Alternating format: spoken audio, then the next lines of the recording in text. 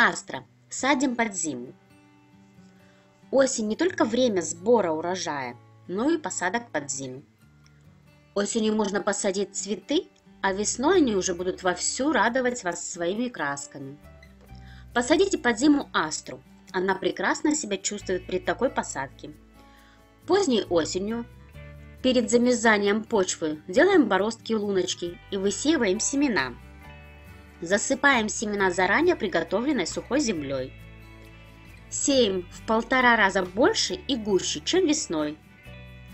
Слабые семечки вымерзнут, а останутся только закаленные и крепкие. Ранней весной закаленные холодом цветы быстро всходят, растут как на дрожжах. Ведь за зиму они закалились, а весной напились живой снеговой воды.